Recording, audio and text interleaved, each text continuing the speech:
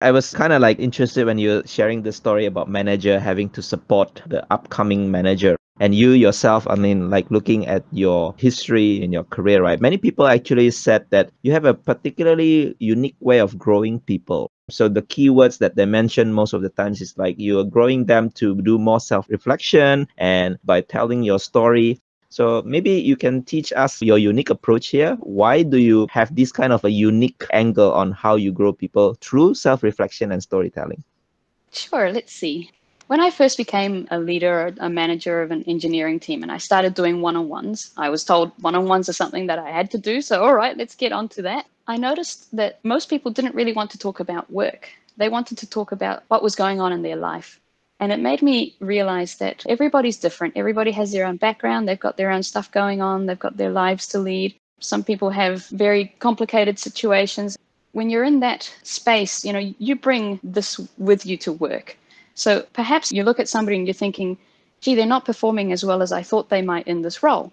But it may not be anything to do with a lack of skill. It might be more to do with how the rest of their life is evolving at this particular point in time.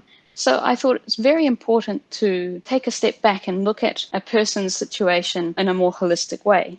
Through that, I came to realize that there was so much more to growing other engineers than just teaching them raw skills. So at the end of the day, there's plenty of material out there. If you want to learn how to set up a Redis cache, you can find a tutorial on that. I don't need to show you myself. You'll probably figure it out yourself. And to be honest, it's probably best if you figure it out yourself than to be shown it by me.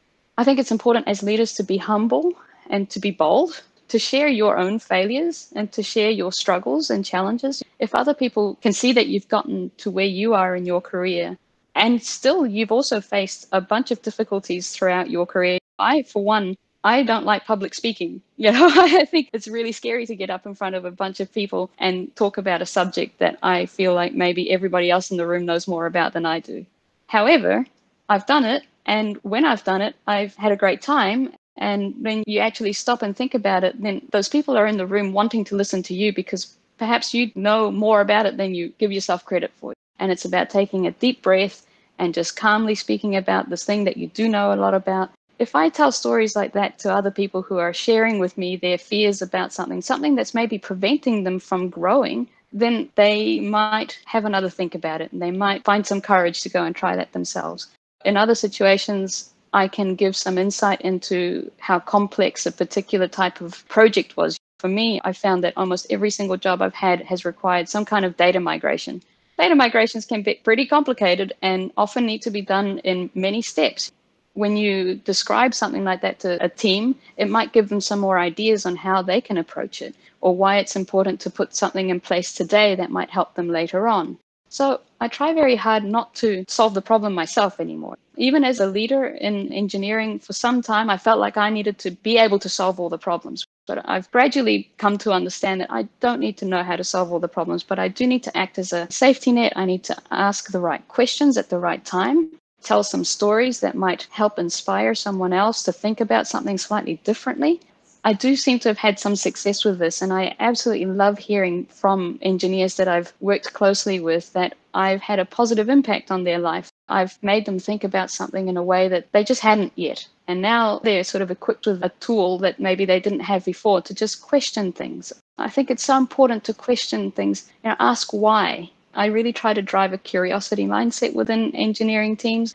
We can get bogged down with the day to day. There's always a fire to put out or a new project that needs to be launched. When an issue arises or you know there's an incident or something, don't just fix it and move on because then you won't have learnt anything from that. If you stop and think, but why did that happen? There will be a reason. Computers not magic. We make them do what they do, right? So we are the people as engineers who have that control we just need to remember that we are in control of the machine and we do need to just question why. And when we go down that path, we'll probably find something really insightful that will help us on our next problem. So, yeah, these are the sorts of tools that I use to lead teams and inspire engineers to do what we hired them to do in the first place, you know, be the best engineer that they can be.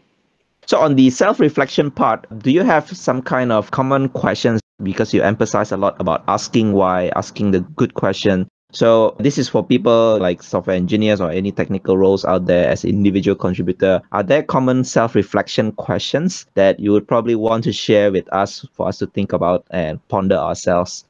Yeah, so when I first join a team, in that first one-on-one that I schedule with people, I actually have a set of questions that I ask straight away. The first one being, how did you become a software engineer? Tell me your story. And I think that's a really interesting question to start with because it helps people start to rewind back to when they decided that they wanted to become a software engineer. The myriad of ways that people end up becoming a software engineer is just fascinating. But it also tells me a wee bit about what motivated them to become a software engineer and the path that they've taken to where they are today. And so I start with that. Other questions that I ask in that first one on one that help guide questions later on in my journey with them are things like what do you think is working really well in our team today? And what do you think could be improved? And what do you love the best about your job? And what do you not like so much about your job? The purpose of these questions is not to then allow this person to only ever work on the things that they like doing and avoid all the things that they don't like doing, but I'm looking for some common threads about inefficiencies or frustrations within the team. You know, nobody likes to come to work and be frustrated. I think if you start to sense that there is a lot of frustration within the team, then you need to investigate that a bit deeper and try and solve those things. As engineers, I think we do have a lot of frustrations when our pipelines are too slow or there are some unit tests that just randomly fail gosh, there's so many sorts of things like this that you don't have the access to the right technologies that you want to use, and that makes your job a lot harder. And so I tend to ask people, what do you find really frustrating and what are you spending time on that you wish you didn't have to spend time on? And what's really interesting is when I ask that question, most people, they don't have an answer for me straight away. And that's okay. They don't need to have an answer straight away. What I want to do is encourage them to think about it. So I say, let's chat about it in our next one on one. And whenever you get a little bit frustrated between now and then, just make a note of it so we can talk about it next time. And slowly but surely, I start getting these really interesting comments around a lack of process around something, or that engineers are not invited to participate in the design phase of a project early enough, pipelines being too slow or unreliable. And that then leads on to me saying, all right, there's a perfectly valid insight. So what are you going to do about it? so how can we make a change here? How can we reduce that frustration? Because you're probably not the only one feeling this. And then I encourage that person to maybe go and speak to other people about it and go and do some research about how they can improve this or why is it that this thing in particular frustrates you? I guess in that way, I'm really trying to get people to think deeper than just the obvious thing is for people to say to me, What skills do I need to learn to become a better software engineer? And I don't have a perfect answer for you there. You know, I can maybe suggest some particular technologies that are very popular in the market right now that maybe we use, maybe we might use in the future. But that's probably not as impactful as getting you to a phrase I use is to be the supply to the unmet demand. There are generally a bunch of unmet demands within an organization, perhaps even within your own team, things that you could make a huge difference on if only you just go and do it. You don't need to seek permission. If there's time, just go and do it and you'll make someone's life so much easier. They'll be grateful for it and they'll thank you for it, and you'll have had some impact and created a positive experience with somebody. And that's how you end up growing and being noticed, eventually, hopefully, getting promoted for it. So there's a virtuous cycle to be had from just asking questions and making people reflect on what makes them happy, what drains them, what frustrates them, where they get their energy. I think that sums it up.